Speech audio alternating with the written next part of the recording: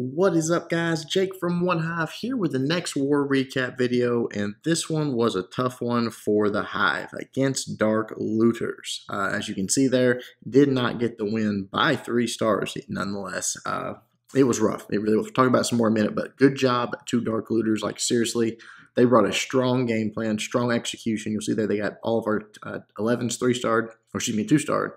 Uh, several of our 10s three starred, only left a couple on the board and all nines cleaned up. They did require some dip attacks, but not nearly as many as we did.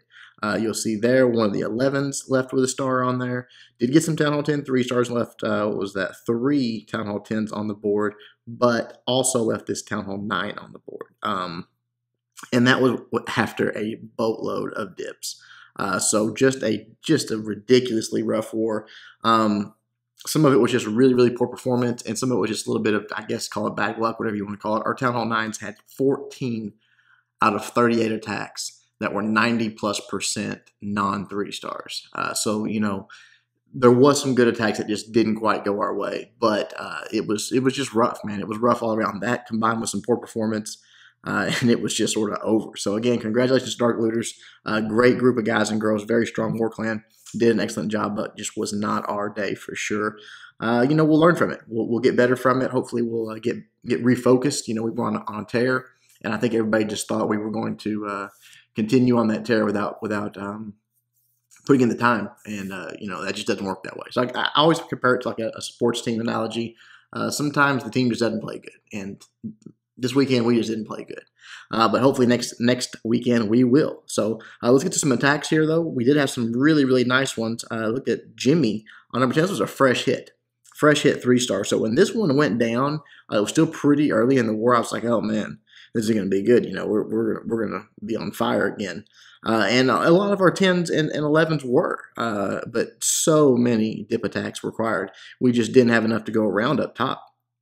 Uh, comes on the left side here with the Wizards taking out that army camp, and then up top here with uh, some more trying to create the funnel. That's all he's doing here, making sure everything's going to go in where he wants it to. Uh, look at this base. These bases were were really anti-ground bases, and he went ahead and went with the, with the ground attack and got the job done. Uh, some of our guys did go with air attacks and got really close on some three stars. Just didn't quite happen. Mega Mo Money, I remember one of hers. Uh, was a great um, was a great air attack. You, you, know, you don't see a lot of attacks anymore, and these guys were really defending against the uh, ground. They got spread out the air defenses are, how spread out the Inferno towers are. I mean, they're really not even thinking air here. Uh, but again, Jimmy does, does, a good job with it. He just comes in, opens that wall up, let the queen in with the queen walk there, uh, drops the rage down, lets her, you know, stay up when she's got all of that point defense on her. And now that the CC troops are coming out to, towards her, so she's got a ton of damage coming her way here. So you're going to have to keep those healers raged up for sure. Uh, as soon as that one starts to wear off, drops another one wise, wisely done there. Uh, and then now it's the Valk time. Coming in with the Valks up top here, just going to let them beat through these walls. I mean, these walls are, you know, Lego walls. These Valks are going to tear through them in seconds. Uh, so here they come right into this first Inferno Tower uh, compartment. Going to go in with a King there. Uh, the Queen's still stepping up, still doing the tanking for all of those X-Bows, so that's good. And there the Valks got the first one coming through, pops that Queen's ability. The healers have peeled off here, but unfortunately they're getting taken out by this air defense. So losing some healers here. Second jump spell goes down. Some hogs coming in from the top side. Take out that little section that just sort of everything skirted around. Uh, but right here, these Valks get into this last section with the Inferno Tower take out a few defenses, working their way that direction. Unfortunately, there is a lot of buildings there. There's a lot of stuff to distract and uh, you know keep them keep them occupied uh, while that Inferno Tower is just dealing out damage. Queen comes back on the left side, though. She does have a he couple healers on her now, so she's getting healed back up until that Inferno get Tower gets on her. And now the last few Hogs coming through on that uh, Inferno get on it, do a little bit of damage, but it's the Queen that gets the last shot on it, uh, just barely. And then right there, as she walk, starts to walk away, the cannon takes her out, unfortunately. But that puts some healers onto that Hog, which sort of goes Super Hog on them pops the king's ability, and now it's just a matter of cleanup. Uh, a little bit of spread, but he's got some cleanup troops. Just really, really nice again for a fresh attack. I was impressed. I thought it was super nice attack. Good job, Jimmy. All right, that was the only 10 versus 10 three star we had, so we are going to dip down to some Town Hall 9 action now. Uh, Doofy Dork, doing what Doofy Dork does, which is this uh, this Go Ho, or this Go Wee, excuse me, Go Wee attack uh, with just a bunch of jump spells you know he does it. Just jump spells around the base, walks these uh, golems, the, the heroes, the wizards, just walks them around the base, jumping them into compartment to compartment, and then when he gets to the to the backside, uh, excuse me, when he gets to the king and queen in there, puts them in, takes out that defending queen, the CC troops, and then that's pretty much that. Just lets it sort of develop, keeps reinforcing where it needs it. It's got a couple of balloons for the for the backside as well. So here comes the first few golems going in. The queen's already down, uh, so she's taking out some trash and stepping up there. Uh, the enemy queen has engaged one of the golems, but here's the queen coming over. She's going to take her out, so that's good. Uh, wall breakers go in, let them all start traveling into the base. He's got lots of wizards backing him up. Uh, and then I believe he's going to drop the king here in just a moment, if I remember right uh, taking out the town hall, and then just going to start working their way out. Obviously, he's got a nice jump spell location there he can put down uh, to continue them moving into those next compartments. Here comes the CC troops. Uh, the jump spell goes down the next golem on the right side there with more wizards behind it. Everything is sort of wrapping around really nicely right now. Uh, the troops that he wants to go into the core are going. Uh, the angle is nice. Everything's just looking pretty solid right here. Uh, Queen is hanging back, just basically undamaged, taking out defenses and, and trash buildings as she goes along another jump spell to let that golem and those wizards into the base, and then wall breakers on the corner there to let that final golem uh, and reinforcing it, we get even more wizards. So he's got a lot of golems going through here. There's the major threat, the Tesla farm, the X-Bow, the wizard tower, that area right there. Queen has sort of got off on her own here and taken damage, unfortunately. She should have stuck in right behind him. Pops that ability uh, gets through this wall, and then she's probably going to go down here if I remember right.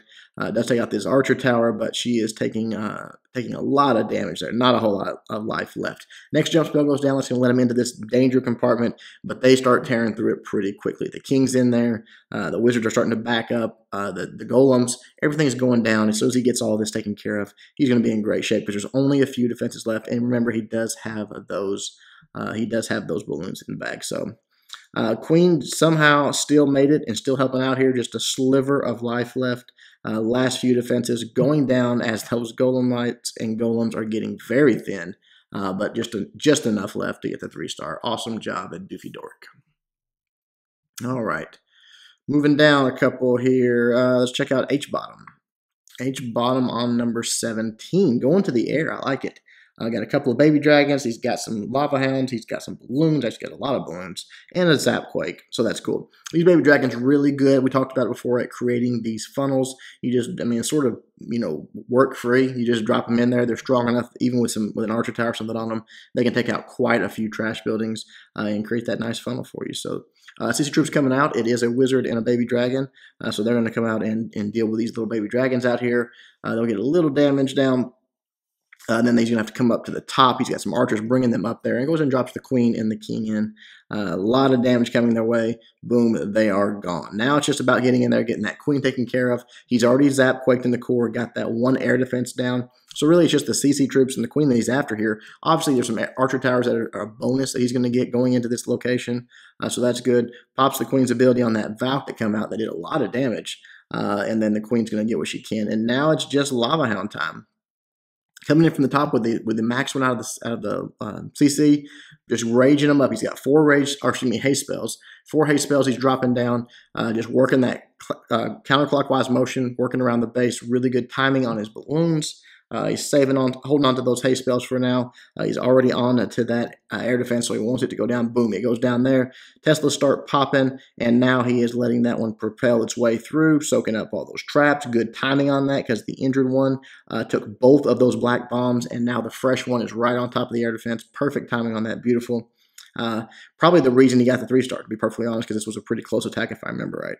Uh, so coming in from the bottom with yet more um, balloons and now lava hounds, he's cutting across the base with that weakened lava hound.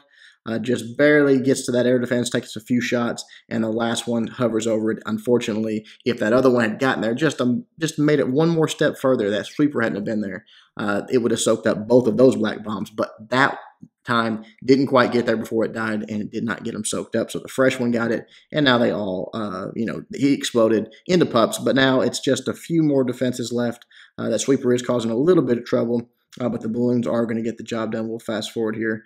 As i said not a lot of balloons left when this is all said and done but had plenty of pups plenty of cleanup there's the three star. Nicely done to h bottom. Okay dropping down even more here. 21 crazy moving another air attack. I like it. A double zap quake this time. You can see there he does have a couple of uh, a couple of ads that are right close enough together that that Quake can touch both of them, and he gets a sweeper for it. So two air defenses and a sweeper with a double zap Quake, very good value right there.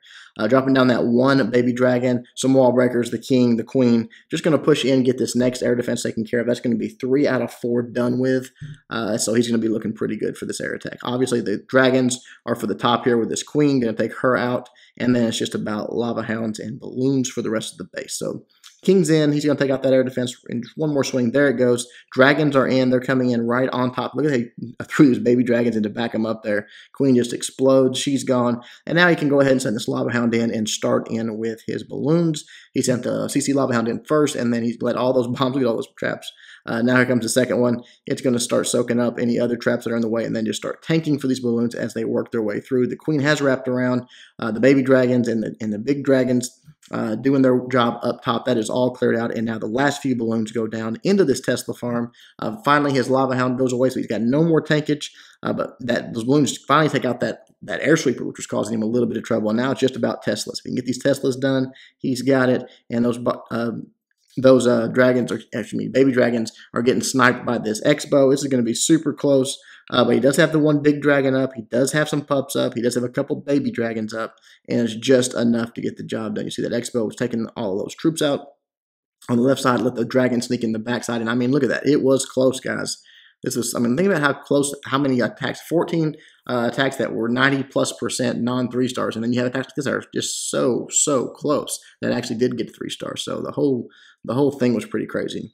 Uh, 23, Nicholas. I think there's another one that was pretty close if I remember right. Just a Goho. No, no healers, no Valks. Uh, we talked about how rare these are these days, but they do still work.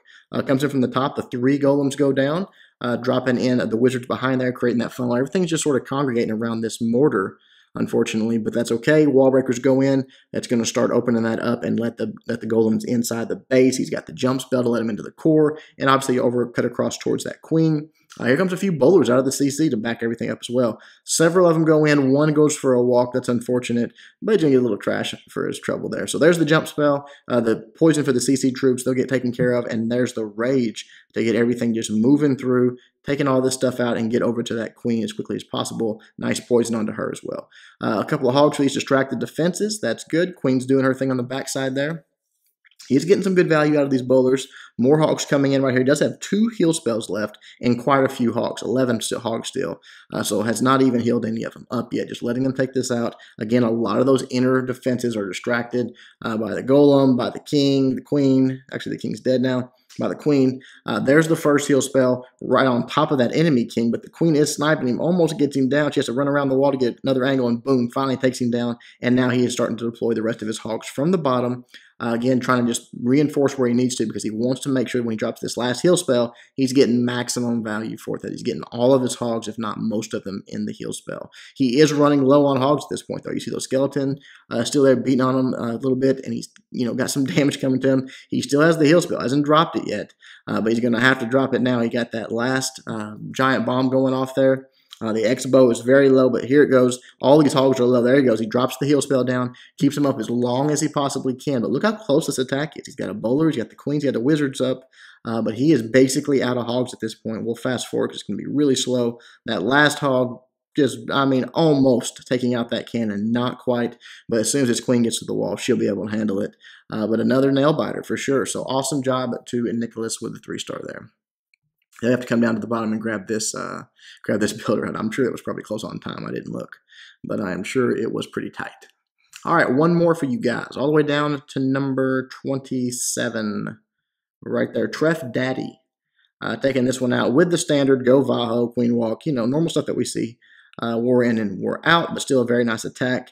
Uh, let's see, where did he come on this one? Treff, where'd you go, buddy? On the bottom here. Dropping the queen in, or dropping the healers. Look at the angle on the healers, guys.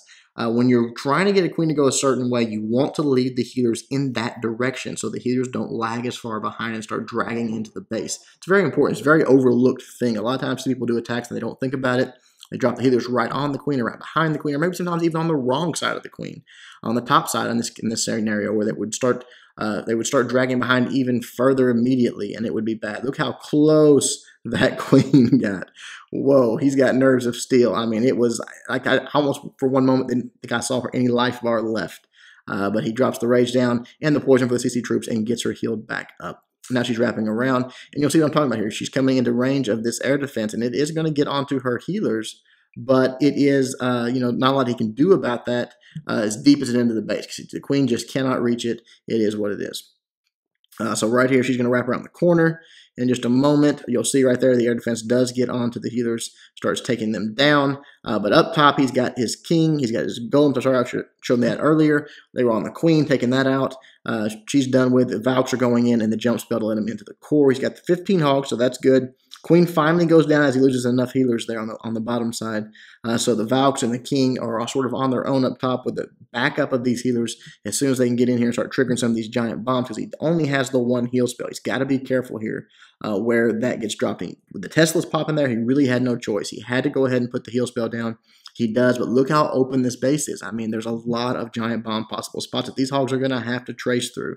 Uh, he does have Valks left. He does have the King left, so that's a big help. But right there, double bomb set. Boom. Loses probably four or five hogs. Uh, he's only got a few left. He's dropping them in from the bottom here. The King over there triggering a bomb. That's good. Uh, triggering the second bomb. So now these hogs are relatively safe uh, they just have to worry about the damage coming from the defenses, but he's only got three hogs left at this point. So very low. Fortunately, not a lot of damage left. Only the X-Bow, and it is focused on these uh, this Golemite and these Valks and all of that. So these hogs are able to slip in. Uh, some small bombs going off and some skeletons. Finally polish them off, uh, all but one. Uh, but again, look how close this attack was, guys. It's crazy. I mean, it was like this all war. It was just that close. Uh, but Treff Daddy getting the job done. Beautiful job. All right, again, awesome job to Dark Looters. Congratulations on the win. Big win for them. Uh, I'm sure they pumped and they should be.